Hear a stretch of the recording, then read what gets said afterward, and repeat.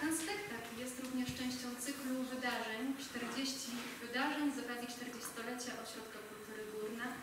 Tym bardziej jest to dla nas ważne, że zechcieli Państwo spędzić ten początek weekendu, wieczór razem z nami.